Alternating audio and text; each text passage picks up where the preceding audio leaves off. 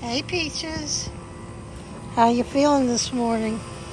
We're here at my office out on Wares Ferry Road.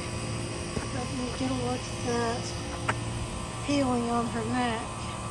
She's still got quite a bit of edema, but at least she got that thing cut out. She is Peaches the Wonder Pup. And it's a beautiful day here on Wares Ferry Road. I'd like to make her walk, but she seems more interested in eating grass this morning. But you know, it is what it is. Peaches! Hey, big girl. Will you look at the camera? Peaches. Hey, Mama. There's that giant ridge on the ridge back. Oh, and there comes our neighbors with the camera.